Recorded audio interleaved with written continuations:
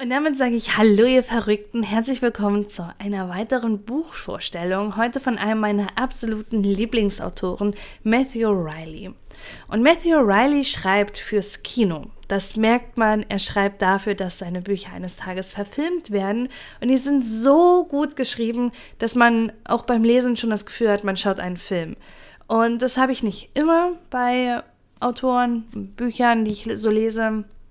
Bei Matthew Riley habe ich es durchgehend bei jedem Buch.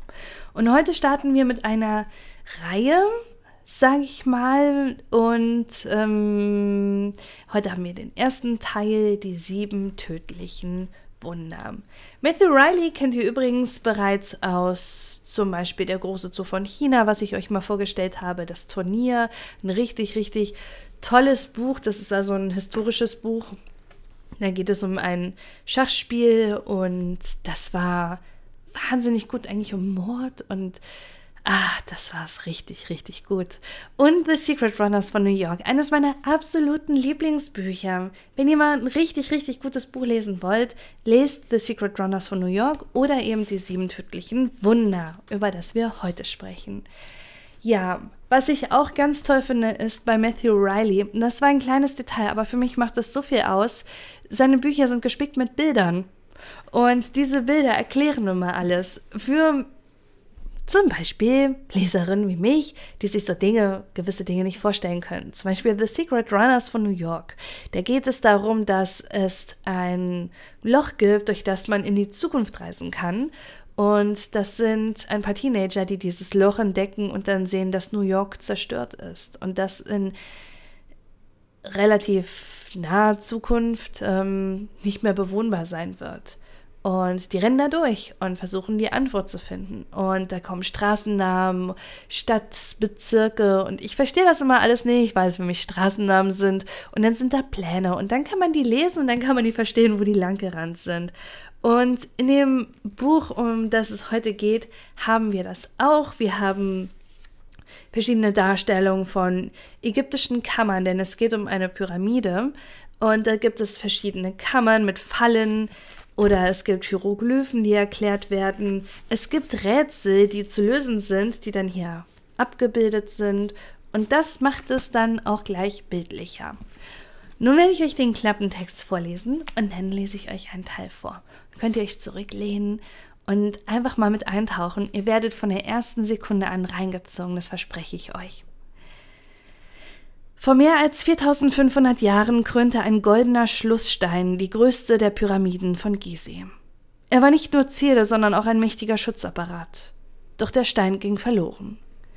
In unserer Gegenwart entbrennt ein Wettlauf gegen die Zeit. Zwei verfeindete Parteien wollen den Stein für ihre eigenen Zwecke nutzen, während sich das Ende der Welt in Form einer solaren Katastrophe ankündigt. Der geheimnisvolle Ex-Soldat Jack West erkennt die Zusammenhänge und gemeinsam mit seinen Freunden versucht er, das Mysterium der Pyramide zu entschlüsseln. Die größte Schatzsuche aller Zeiten beginnt. Auftakt zu einem fantastischen Abenteuer voller Gefahren und Action mit Jack West. Für Fans von Dan Brown und Indiana Jones. Ja, und die Abenteuer von Jack West werden noch in zwei weiteren Büchern beschrieben. Das zweite Buch ist bereits im Pester Verlag erschienen. Das dritte kommt demnächst raus. Also ihr müsst nicht so lange warten. Und es sind auch ganz schöne, ganz schön dicke Bücher, habt viel zu lesen, aber eigentlich werdet ihr gar nicht merken, wie viel Zeit vergeht. So. Und ähm, ich hatte übrigens mal eine Phase, in der ich mir ganz viele Dokus über Pyramiden angeguckt habe und irgendwann in so einem richtigen Rabbit Hole war, wenn so Leute selbst so philosophiert haben darüber, was das alles bedeuten könnte, warum Pyramiden erbaut wurden, dies, das. Super spannend, das ganze Thema. Und ich hatte das schon richtig vergessen, verdrängt. Und mit diesem Buch ist das jetzt alles wieder hochgekommen.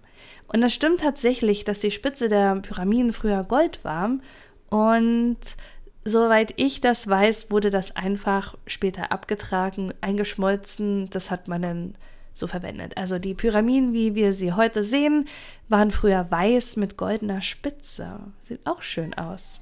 Aber das Weiß ist dann verwittert und das Gold wurde abgetragen.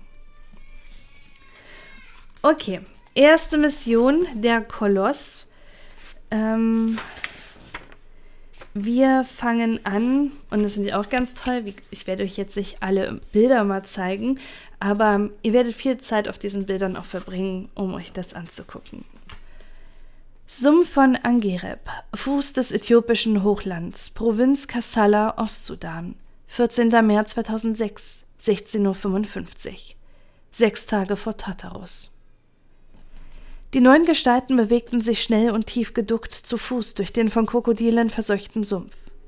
Die Chancen standen haushoch gegen sie. Ihre Gegner zählten über 200 Mann. Sie waren nur zu neunt. Außerdem verfügten die Gegner über massive logistische und technische Unterstützung. Hubschrauber, Flutlichter für nächtliche Arbeiten und Boote jeder Art. Kanonenboote, Hausboote, Kommunikationsboote, drei riesige Baggerschiffe für Grabung, ganz zu schweigen von dem provisorischen Damm, den sie errichtet hatten. Die Neuen hatten nur dabei, was sie in der Mine brauchen würden.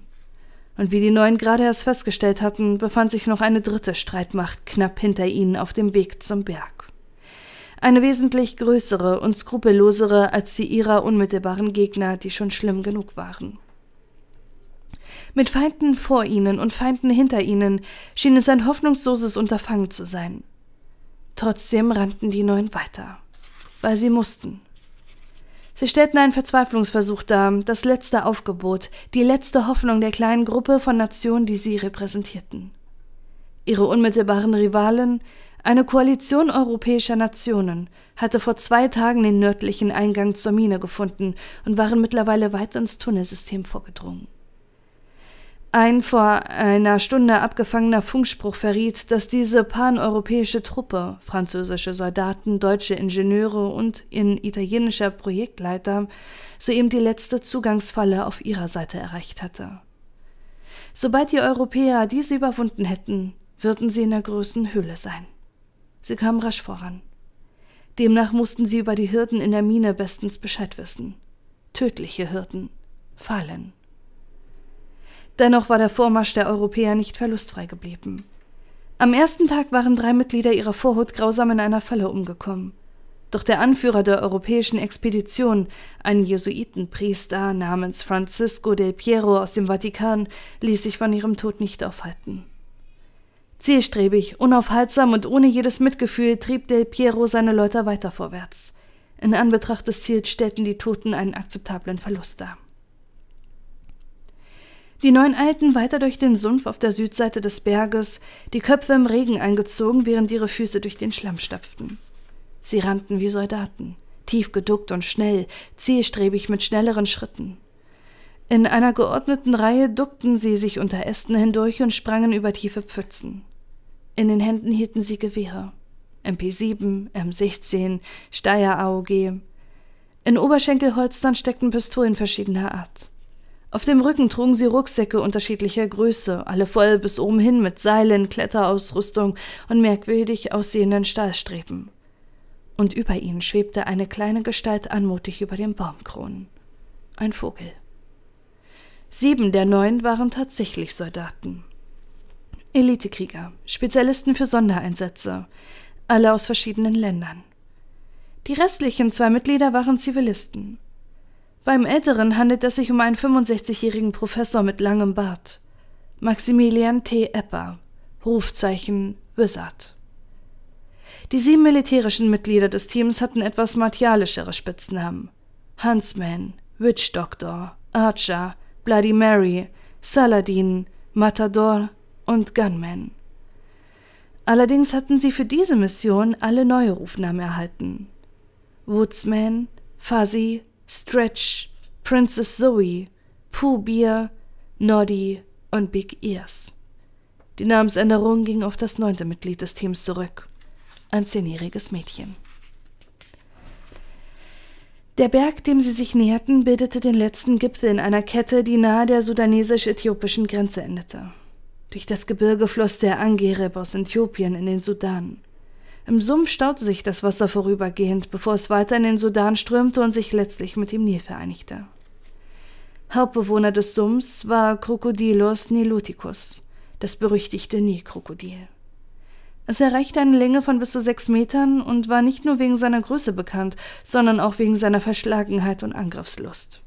Kein anderes Krokodil der Welt verspeiste mehr Menschen. Bis zu 300 jedes Jahr. Während sich die Neuen dem Berg aus Süden näherten, hatten ihre Widersacher aus der EU auf der Nordseite eine Operationsbasis errichtet, die an eine schwimmende Stadt erinnerte. Boote mit Kommandoständen, Messen, Unterkünften und Arsenalen. Ein Netzwerk schwimmender Brücken verband die kleine Flotte miteinander. Alle Boote waren zum Brennpunkt ihrer Operation ausgerichtet, zu dem riesigen Kofferdamm, den sie an der Nordflanke des Bergs errichtet hatten. Man musste zugeben, dass es sich um eine technische Meisterleistung handelte. Ein 100 Meter langer, 12 Meter hoher gekrümmter Staudamm, der das Wasser des Sumpfes zurückhielt, um ein rechteckiges Tor aus Stein im Fuß des Berges freizulegen. 12 Meter unter der Wasserlinie. Das Portal aus Stein war außerordentlich kunstvoll gestaltet. Ägyptische Hieroglyphen bedeckten jeden Quadratzentimeter des Rahmens. Aber den Ehrenplatz in der Mitte des Sturzes nahm eine Glyphe ein, die man häufig in Pharaonengräbern in Ägypten fand. Zwei Gestalten, gefesselt an einen Stab mit dem Schakalskopf von Anubis, dem ägyptischen Gott der Unterwelt. Das hielt das Jenseits für Grabräuber bereit. Ewige Knechtschaft unter Anubis. Keine angenehme Art, die Ewigkeit zu verbringen. Die Botschaft war unmissverständlich. Kein Zutritt. Im Inneren beherbergte der Bär eine uralte Mine, entstanden während der Herrschaft von Ptolemäus I. um das Jahr 300 vor Christus.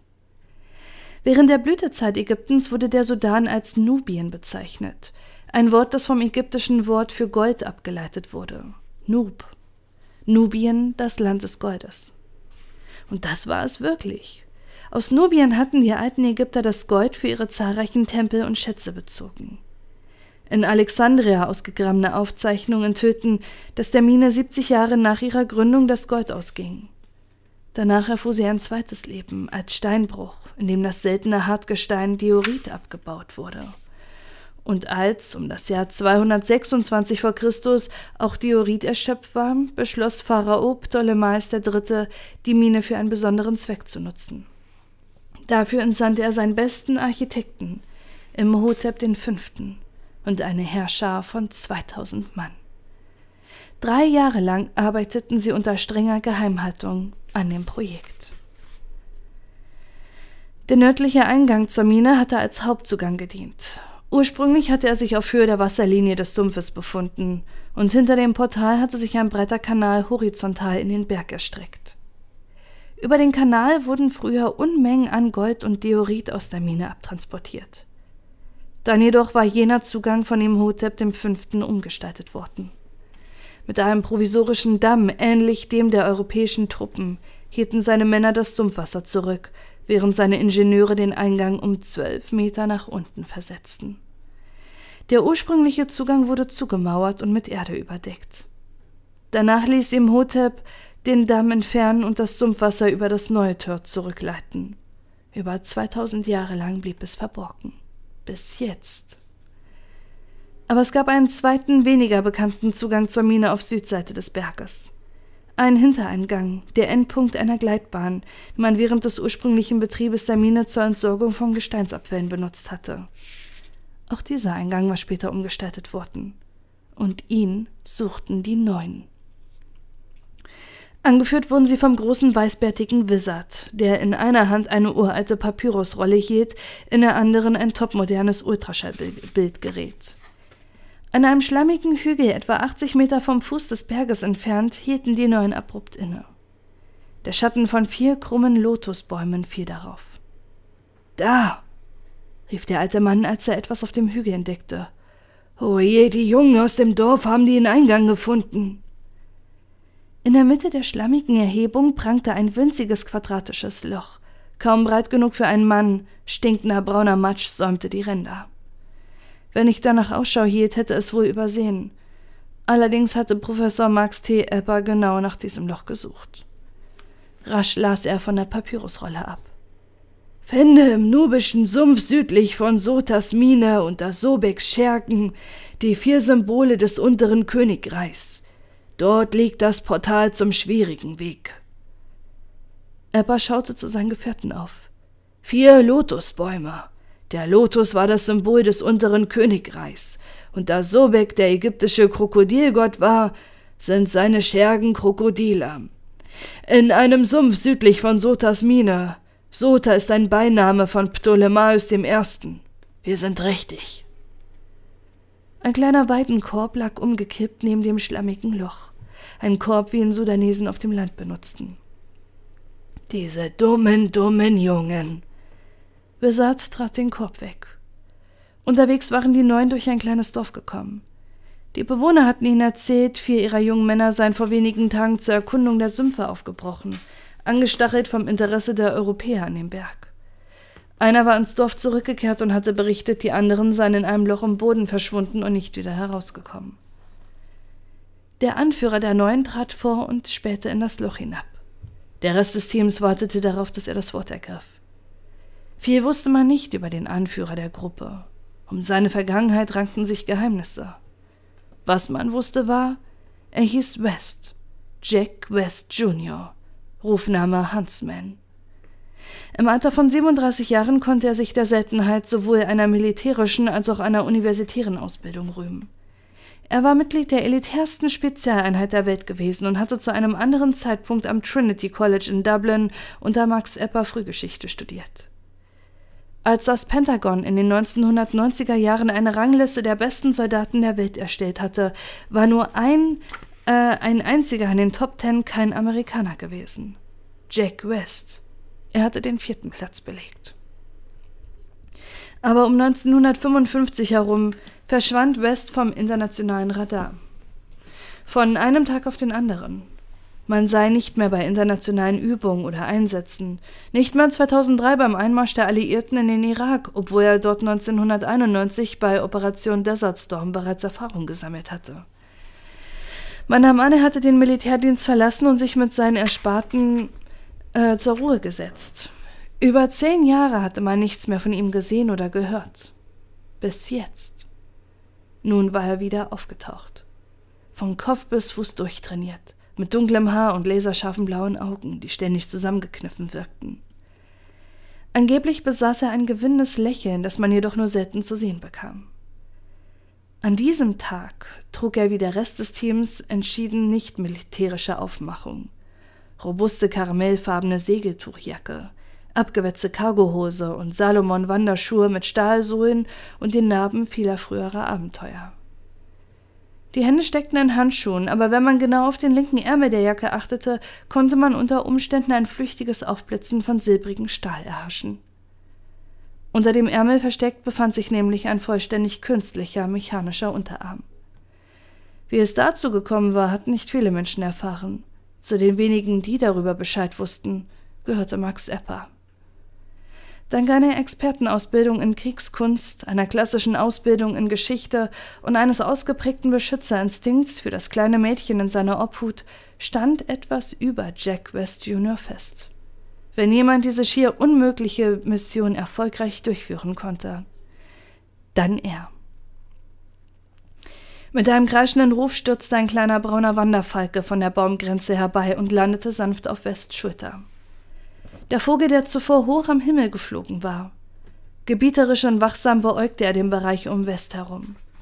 Sein Name Horus. West nahm keine Notiz von dem Vogel. Gedankenverloren starrte er in das dunkle quadratische Loch hinab. Als er etwas Schlamm wegwischte, kam eine in den Rand gemeißelte Hieroglyphe zum Vorschein. So treffen wir uns wieder, meinte er leise zu dem Zeichen. Er drehte sich um. Leuchtstab.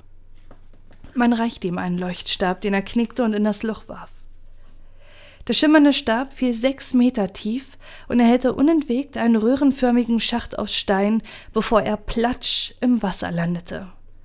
Sein Schein offenbarte jede Menge Krokodile. Nilkrokodile. Schnappend, knurrend und grunzend krochen sie übereinander.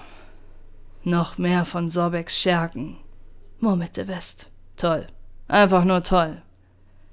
In dem Moment hob der Funker des Teams, ein großer Jamaikaner mit gebleichten Dreadlocks, stark pockennarbigem Gesicht und Armen wie dicken Ästen, erschrocken die Hand zum Ohrstöpsel.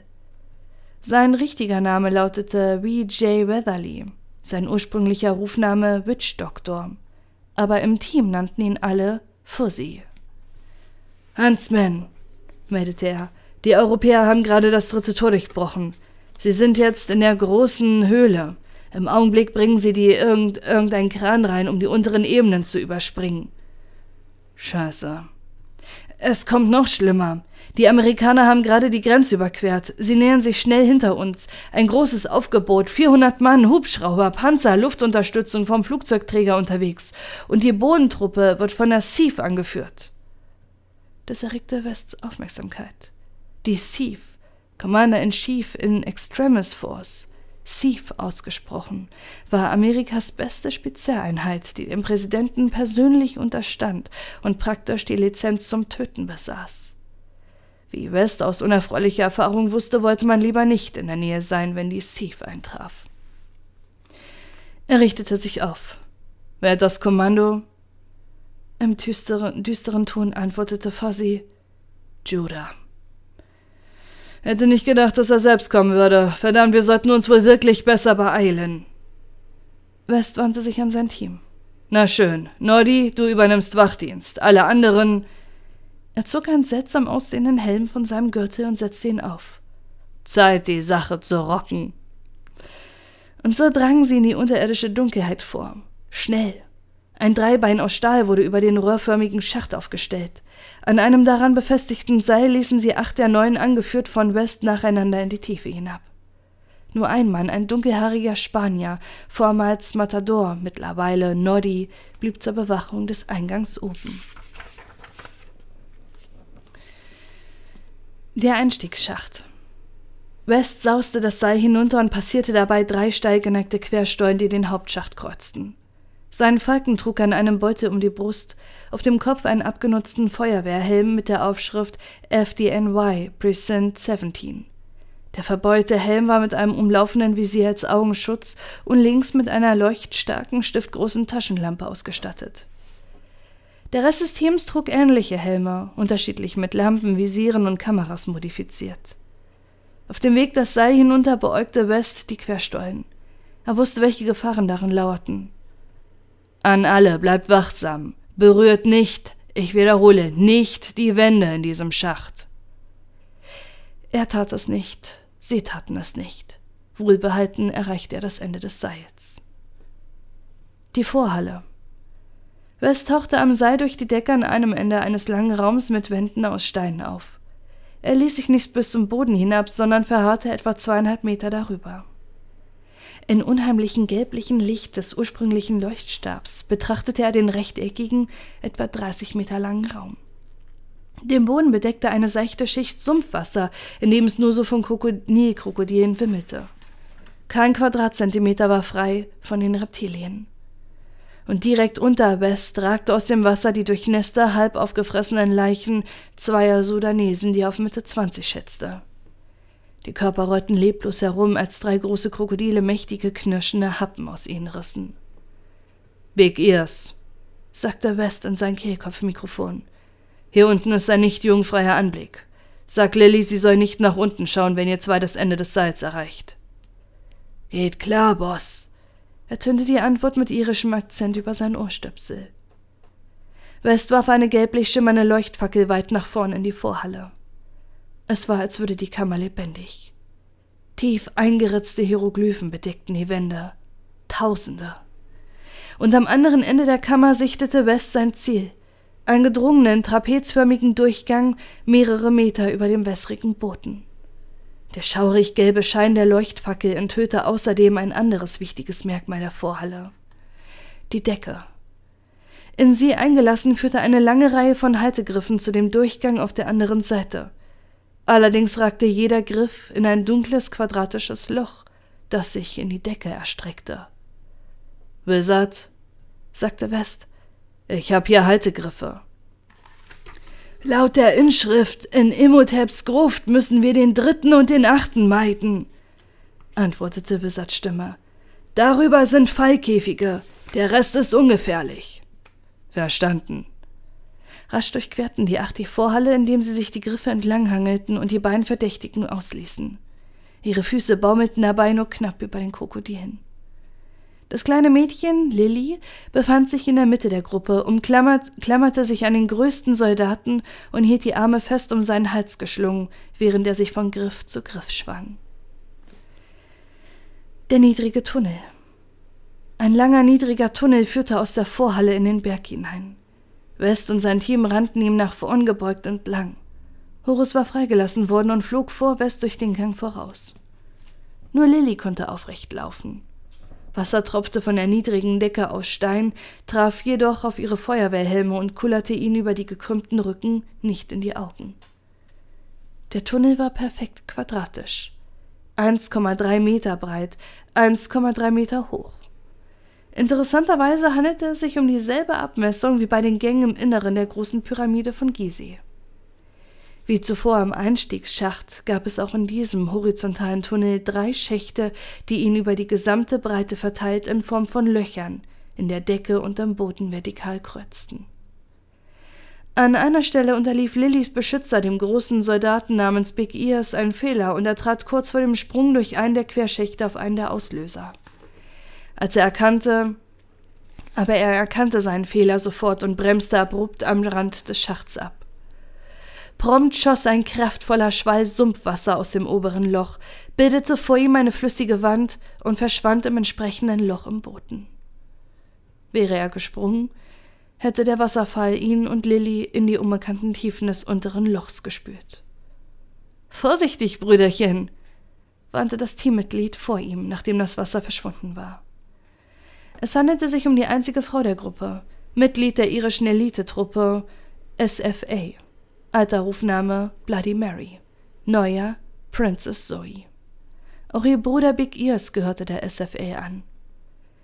Sie streckte sich und ergriff seine Hand. Mit ihrer Hilfe sprang er durch den Querschacht, bevor sie mit Lilly zwischen ihnen den anderen folgten.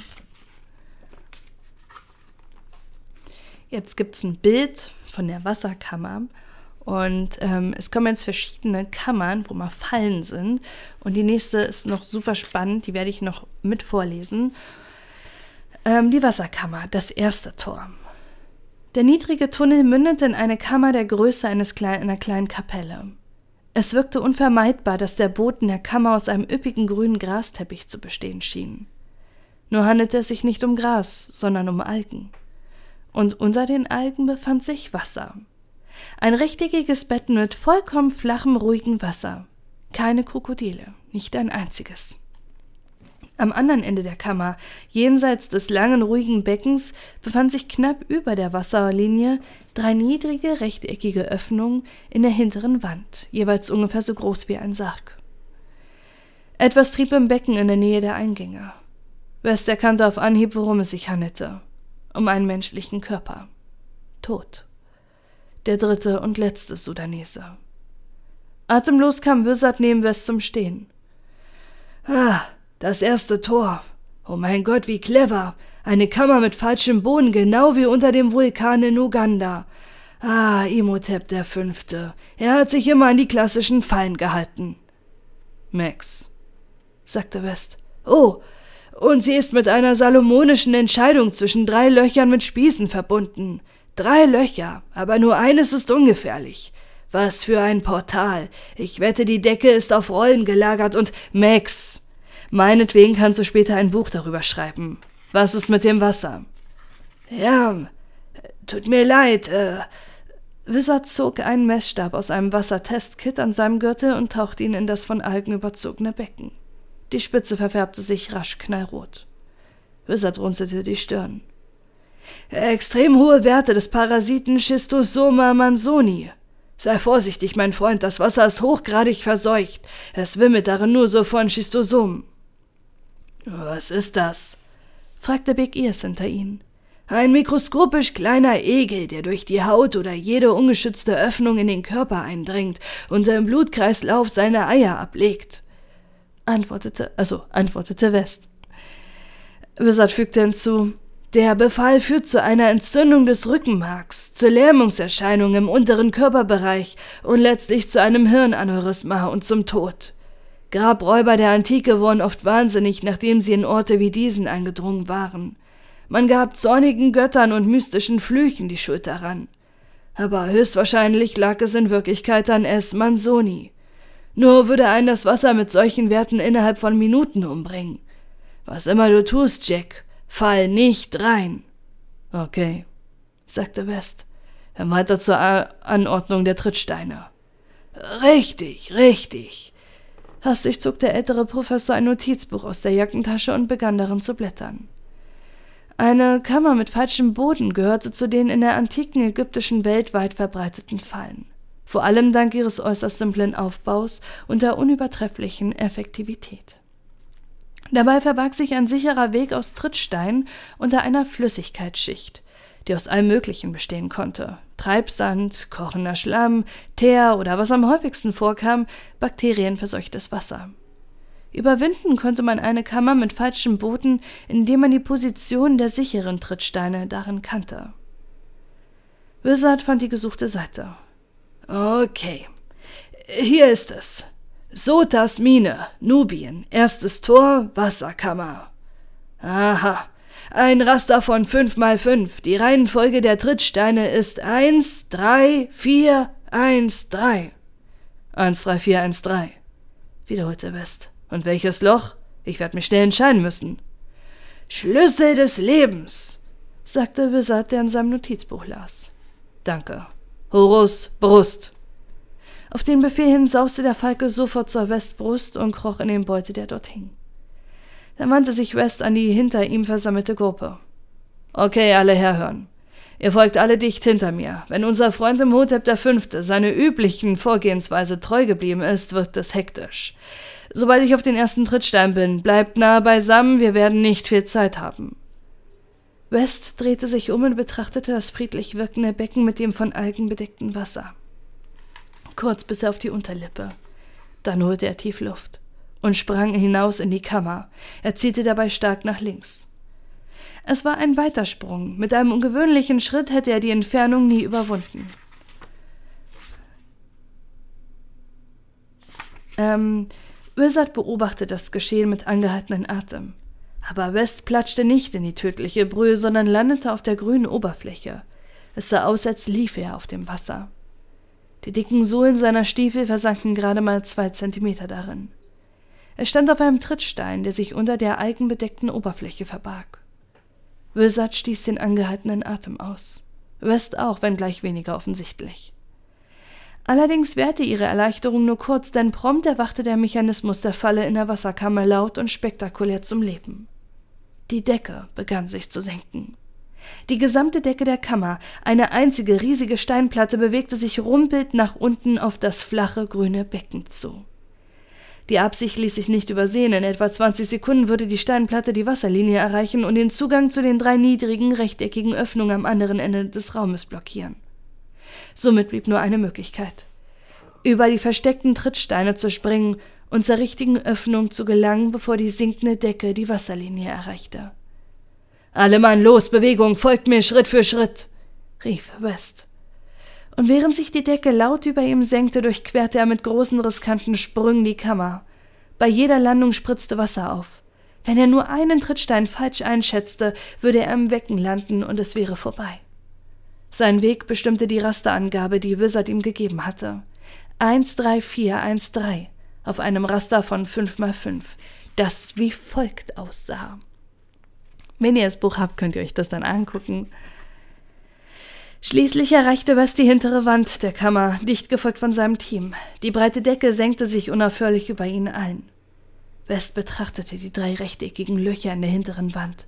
Er hatte solche Öffnungen schon einmal gesehen. Es handelte sich um Spießfallen. Nur ein Loch würde sicher sein und zur nächsten Ebene des Labyrinths führen. In den anderen beiden würden verheerende Spieße von oben herabsausen, sobald jemand die Öffnung betrat. Über jedem der Spießlöcher prangte ein eingemeißeltes Symbol. Es galt sich für die richtige Öffnung zu entscheiden. Während die Decke hinter West sich fortwährend senkte und demnächst sein Team ins Wasser pressen würde. Kein Druck, Jack, murmelte er bei sich. Okay, Schlüsse des Lebens, Schlüsse des Lebens. Er betrachtete das Symbol über dem linken Loch. Na dran, aber nein. Es handelte sich um die Hieroglyphe für Magie. Imhotep V. wollte aufgeregte, panische Entdecker verwirren, die in dieser Stresssituation nicht genau genug hinsahen. Wie geht's voran, Jack? Big Ears und das kleine Mädchen tauchten neben ihm auf, schlossen sich ihm auf dem letzten Trittstein an. Die Decke hatte sich mittlerweile um mehr als die Hälfte gesenkt und bewegte sich nach wie vor abwärts. Es gab kein Zurück. Er musste sich für das richtige Loch entscheiden. West! drängte jemand hinter ihm. Jack bewahrte kühlen Kopf, betrachtete das Symbol über der mittleren Öffnung. Und dann erkannte er es als die Hieroglyphe für Ankh oder langes Leben, bei dem alten Ägyptern auch bekannt als Schlüssel des Lebens. Das hier ist es, rief er. Aber es gab nur einen Weg, das zu bestätigen. Er holte seinen Falken aus dem Beutel und reichte ihn dem kleinen Mädchen. Hey, Kleines, falls ich mich irre, passt du für mich auf Horus auf, ja?